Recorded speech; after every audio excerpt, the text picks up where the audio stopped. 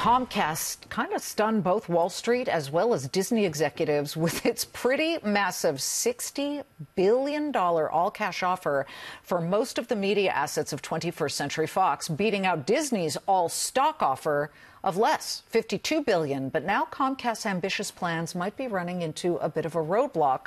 This as Fox and Disney set, I believe it's a July 10th yes. date for a shareholder meeting from both companies to decide whether to go ahead with I mean, this. Fox really wants to do this deal. We, we should point out that I'm getting this from advisors to Brian Roberts, the CEO of, of, Comcast. People are talking to those advisors who know they're thinking, they know what they're essentially relaying to Comcast CEO and, and Comcast executives about this potential hostile bid now. Mm-hmm.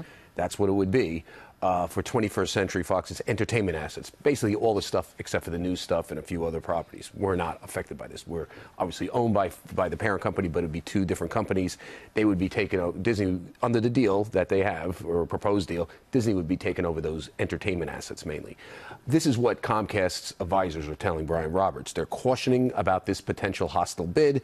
They're telling company executives to, to if you go this way, just remember it's going to be a protracted legal fight. And why is that?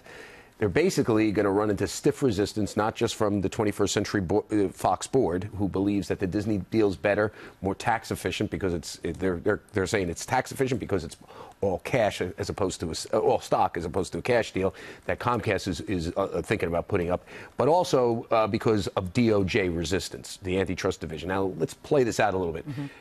Brian Roberts, as we were actually first to report when I was in Milken conference a couple of weeks ago, other places picked up on this recently, is weighing this bid contingent upon what the DOJ says about AT&T Time Warner. If they give AT&T Time Warner mm-hmm. even a decent pass, he's likely to make a bid on these assets.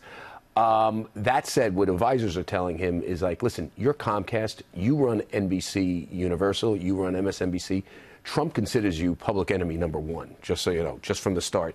Number two, the DOJ right now, run by Makan Delrahim and his subordinates, hate the structure that Comcast has created, which AT&T is trying to replicate. So even if AT&T wins, expect resistance from the DOJ from, for Comcast to get any bigger, including buying 21st Century Fox assets. So they're going to have to. So Brian Roberts is going to basically facing not just resistance from our board, but with the with the with the bank with the bankers and the advisors are, are telling him resistance from DOJ, even if AT&T prevails. So that's now. Now that said, from what I understand, the last word I heard, he is still deadly serious about making a move. I, I think he thinks there's a no lose situation.